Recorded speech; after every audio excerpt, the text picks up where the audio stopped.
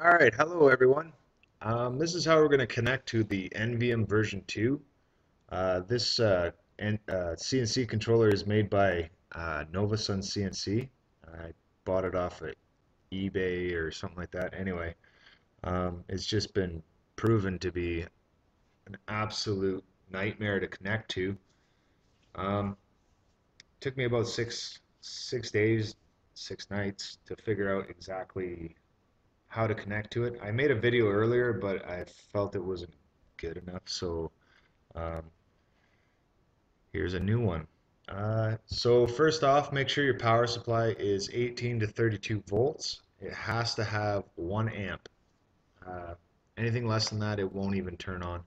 So make sure that's right. Make sure your uh, wiring's correct. I do have a video on how to wire it, uh, and there will be ports and pins and pinouts in Mach 3. Uh, a couple videos I'm going to make later on. And uh, so without further ado, uh, here we go. The very first thing you're going to want to do is uh, go ahead to Novosun CNC. Uh, just go to their website. I already have it up here. Um, I'll post the the link in the uh, below the video here the uh, description. And if you go to NVEM, now this covers both uh, version 1 and version 2. Um, I'm not going to be covering the actual uh, connection for the NVEM version 1 because I just don't have one and I'm not planning on buying one. Um, after this nightmare, I don't think I'd... Actually, it wasn't that bad, but anyway. Okay, so we have the NVEM version 1 Chinese manual we have the NVEM version 1 English manual, and then we have NVEM version 2 English manual right here. This is the one we want for version 2s. And most of this stuff is uh, incorrect. So just so you know, I, I didn't try the the uh, the router connection.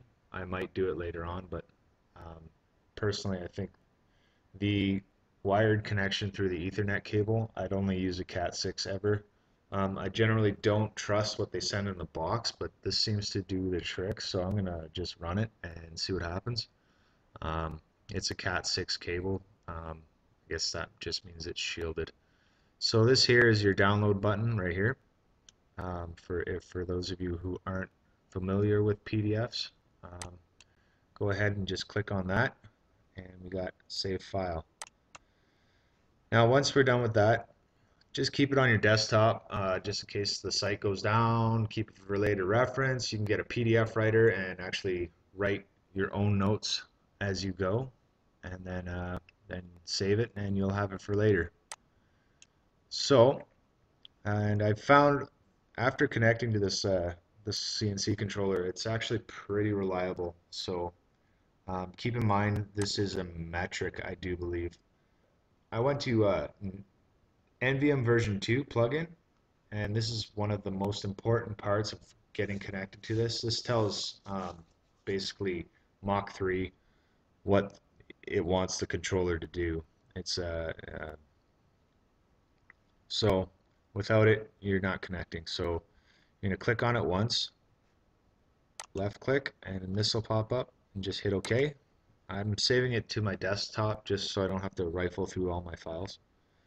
And uh, we already got it. So after that's done, we can just close this close this website. And it comes in a WinRAR zipped file.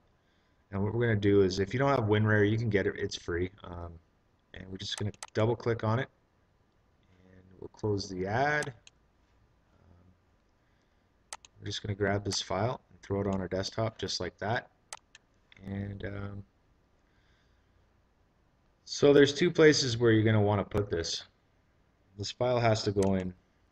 You're going to go to local disk C drive unless you changed your directory um, in the install for Mach 3 you double click on Mach 3 we're going to go to plugins. And all we're going to do is right click on the file copy.